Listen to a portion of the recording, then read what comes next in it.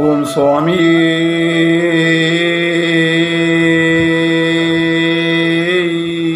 சரணமையப்பா அநாதரட்சகனே சரணமையப்பா அனைவரையும் காத்து ரட்சிக்கணும் பகவானே. சரணமையப்பா ஓம் ஸ்ரீ ஹரிஹரபுத்திராய புத்திரலாபாய சத்ருநாசாய மதகஜவாகனாய ஓம் ஸ்ரீ மகாசாஸ்திரே நமக ஓம் சுவாமியே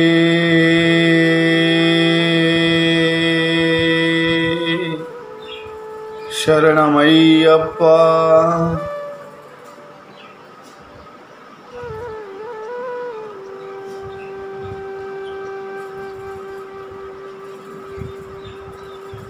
சத்தியமான ஸ்ரீதர்ம சாஸ்தா கலியுக வரதன் கண்கண்ட தெய்வம். சுவாமியுடைய வரலாற்றை அதிசயங்களை நான் இந்த அடியேன் உங்களோடு சேர்ந்து சிந்திப்பதிலே மிகவும் பாக்கியம் பெற்றுள்ளேன் நண்பர்களே இந்த பதினாறாவது எபிசோடை வழங்குவதற்கு முன்னால் அனைத்து குருசாமிமார்களுக்கும்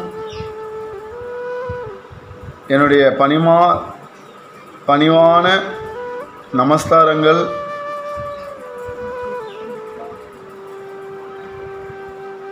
நல்லபடியாக கார்த்திகை மாதம் விரதம் மண்டல விரதம் சென்று கொண்டிருக்கிறது அன்பர்களே. இன்று கார்த்திகை மாதம் இருபத்தி ஆறாம் நாள். எப்படி இருபத்தி ஆறு நாட்கள் சென்றது என்றே தெரியவில்லை. அத்தனை வேகமாக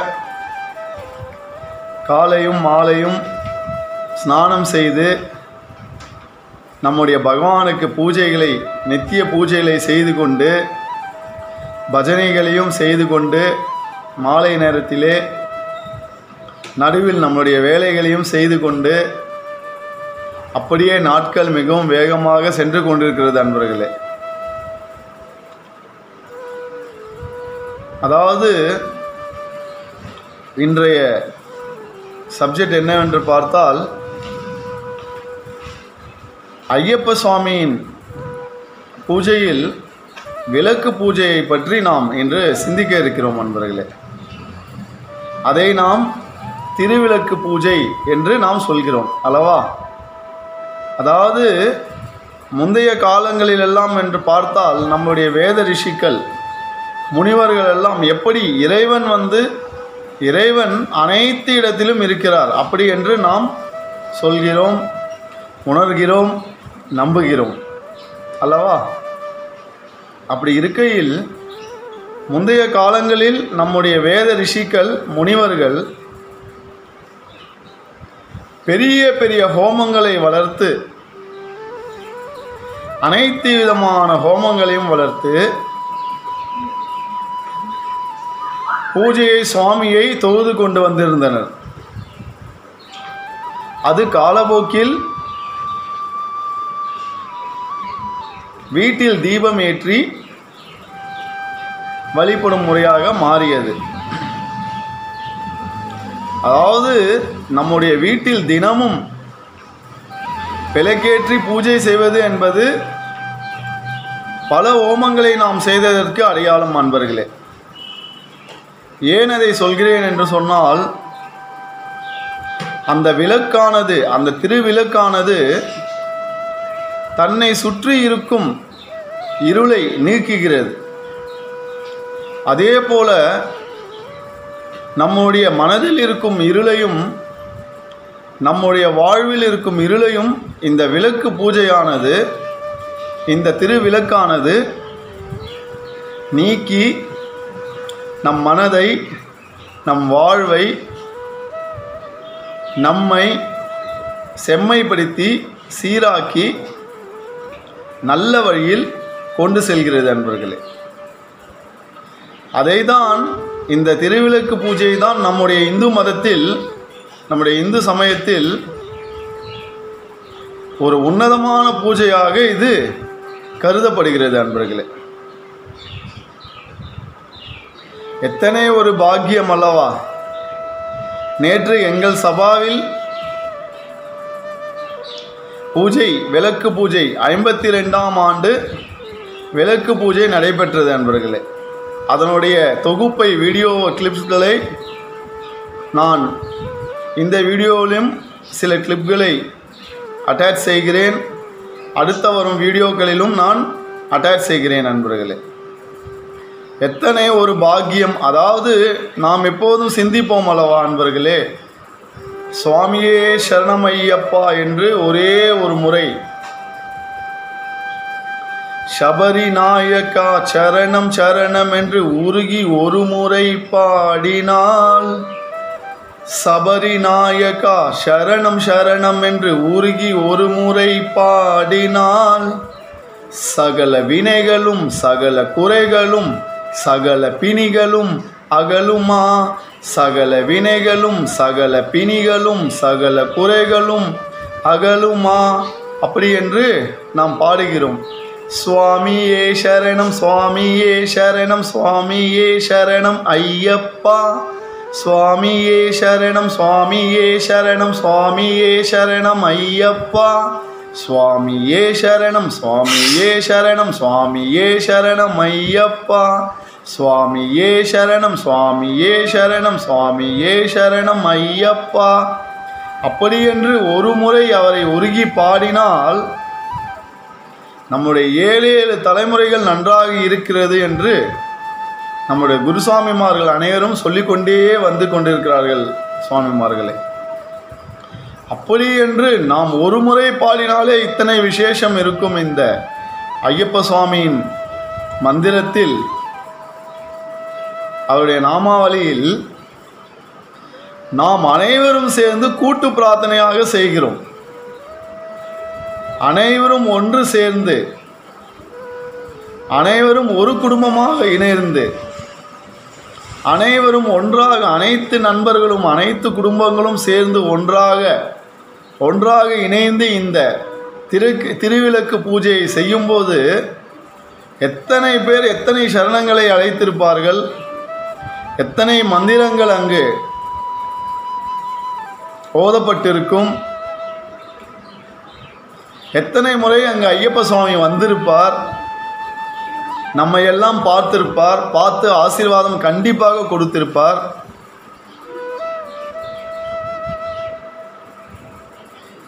ஏன் அதை சொல்கிறேன் என்றால் நண்பர்களே காலையிலே கணபதி ஹோமம்.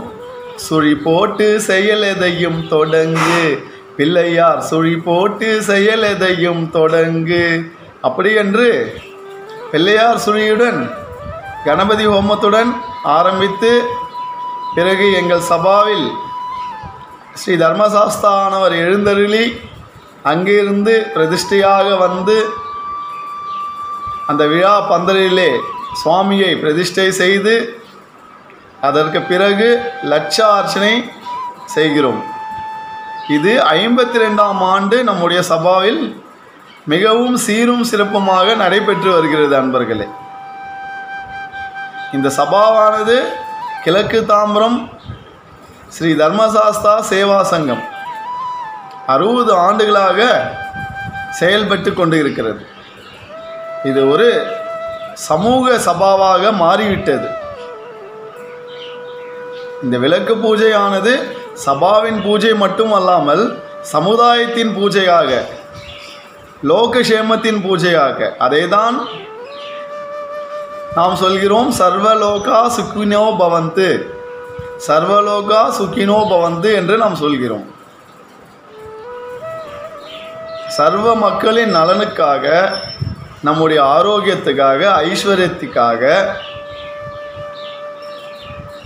நாம் அனைவரும் ஒன்றிணைந்து இது செய்ததில் மிகவும் மகிழ்ச்சியாக இருக்கிறது அன்பர்களே. எத்தனை முகங்கள் விளக்குகளில் இருக்கிறது? பல முகங்கள் இருக்கிறது. ஒரு முகத்தில் இருந்து ஆரம்பித்து பல முகங்கள் இருக்கிறது. ஐந்து முகம் விளக்கு என்ன குறிப்பிடுகிறது? பஞ்சபூதங்களை குறிக்கிறது. ஏனென்றால் நம்முடைய வாழ்க்கை பஞ்சபூதத்தை சார்ந்தே இருக்கிறது. நிலம் நீர் நெருப்பு ஆகாயம் காற்று. நம்முடைய வாழ்க்கை மட்டுமல்ல நண்பர்களே நம்முடைய உடலும் இந்த பஞ்ச பூதத்தை நம்பிதான் நிச்சயமாக செயல்பட்டு கொண்டிருக்கிறது. நம் உடலில் நீர் இருக்கிறது நம் உடலில் உஷ்ணம் நெருப்பு இருக்கிறது நாம் சுவாசிக்கிறோம் காற்று இருக்கிறது. இது போல நம் உடம்பு இது போல வந்து நம்முடைய பஞ்சபூதத்தை நம்பியே நம்முடைய வாழ்க்கையானது சுழன்று கொண்டிருக்குது அன்பர்களே. எத்தனை ஆனந்தம். கணபதி ஹோமம் முடிந்து சுவாமி எழுந்தருளி லட்சார்ச்சனை நடைபெற்று அதன் பிறகு மகா தீபாராதனை நடைபெற்றது. நடைபெற்று மகா அன்னதானமானது பொதுமக்களுக்கு மிகவும் சிரி சிறப்பாக எங்களால் எங்கள் சபாவால் முடிந்த வரையில் எத்தனை சிறப்பாக செய்ய வேண்டுமோ அதை செய்தோம். மாலையிலே செண்டை மேளம் தாயம்பகா வாசிக்கப்பட்டது. அனைவரும் பொதுமக்கள் அனைவரும் ரசித்தோம். அதன் பிறகு ஸ்ரீ தர்மசாஸ்தாவின் ஸ்ரீ தர்மசாஸ்தா சேவா சங்கத்தின் எங்கள் குழுவின் சார்பாக பஜனை நடைபெற்றது. அதன் பிறகு பதினெட்டு படி பாடல்கள் பாடி மகா தீபாரதனை காட்டப்பட்டது. காட்டப்பட்டு சுவாமிக்கு பிரசாதம் பொதுமக்களுக்கு பிரசாதம் விநியோகம் செய்து அன்னதானம் வழங்கி இனிதே மிகவும் சிறப்பாக இந்த விளக்கு பூஜையானது அவ்வளவு சிறப்பாக நடந்தேறியது என்பதை மிகவும் பணிவுடனும் நன்றியுடனும் தெரிவித்துக் கொள்கிறோம் அன்பர்களே எங்கள் சபாவின் சார்பாக. இதை சிறப்பாக நடத்திய ஒவ்வொருவருக்கும் ஒவ்வொரு நல்ல மனதிற்கும் இந்த நேரத்திலே ஒத்துழைத்த அனைவருக்கும் எங்கள் சபாவின் சார்பாக எங்களோட கோடான கோடி நன்றிகளை நாங்கள் தெரிவித்துக் கொள்கிறோம் அன்பர்களே. இந்த விளக்கு பூஜையானது எப்படி விளக்கில் விளக்கு தன்னை சுற்றி இருக்கும் இருளை எல்லாம் அது ஈர்த்து கொண்டு ஒரு பிரகாசத்தை கொடுக்கிறதோ அதுபோல நம்முடைய வாழ்விலும் அனைத்து விதமான ஒளிகளையும் நம்முடைய வாழ்வு வாழ்வாங்கு வாழ வேண்டும். நீ- நீடூழி வாழ வேண்டும். நம்முடைய வாழ்வு வெற்றிகரமானதாக இருக்க வேண்டும். நிம்மதியானதாக இருக்க வேண்டும் என்று சொல்லி வழக்கம் போல ஒரு இறை சிந்தனையை செய்து இந்த எபிசோடை நிறைவு செய்வோம் அன்பர்களே. சுவாமியே சரணமையப்பா. நல்லபடியாய் காத்து ரசிக்கணும் பகவானே சரணமையப்பா. எங்கள் இஷ்ட தெய்வமே சரணமையப்பா.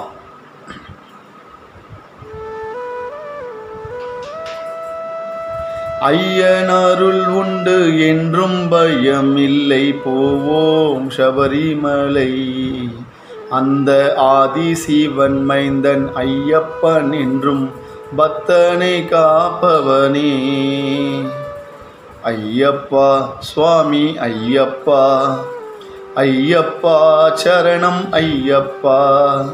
ஐயப்பா சுவாமி ஐயப்பா. ஐயப்பா சரணம் ஐயப்பா.